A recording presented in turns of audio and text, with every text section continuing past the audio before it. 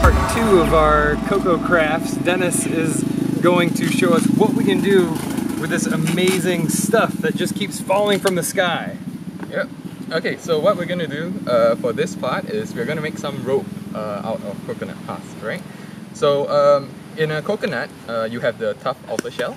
So we're not gonna use that part today, right? Today we're gonna use this fiber. So what you do is you just tear the uh, a little bit of the fiber out, right?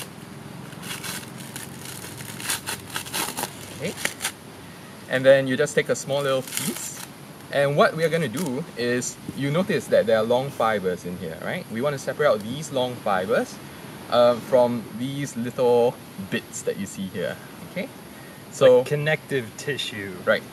So what you can do is you can uh, rub them in your hands and you notice that it comes down like snow. Some people, uh, if you're less hairy in the legs, and you can rub it against your legs. Okay. And that's when you'll notice, right, you start seeing more of the fibers. So these are the fibers that we'll need for today. Okay?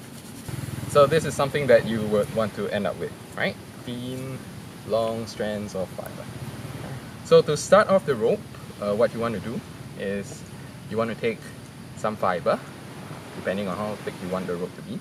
Okay, I got and some fiber. So hold it with your two thumbs, right, in the center. One, two, in okay. the center. And then make sure you make a little inverted U shape and what you want to do is you want to twist your thumb either towards the left or towards the right, but make sure it's both in the same direction. So for example, I'm going to twist towards my left. Right? So you twist towards your left.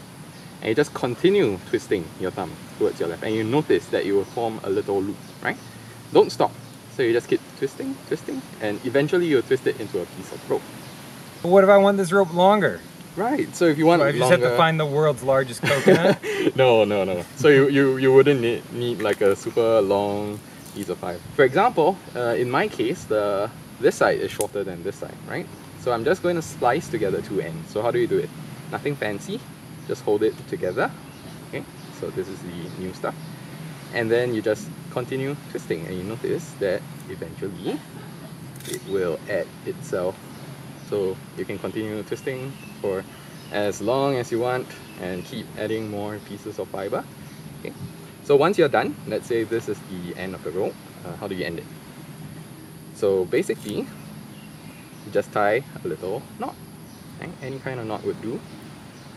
There, there's a piece of rope, right? And it's super strong. I, yeah, I can't right? believe how strong this stuff ends up being. I was like, okay, well, it'll be like a cute little wisp of something, but no, this can really hold some weight. Right, yeah. And we've even been experimenting with uh, uh, doing the same thing with little metal threads combined with the coconuts. And so you can have a, um, a coconut outside um, that's conductive. You can have a your own coconut conductive wire.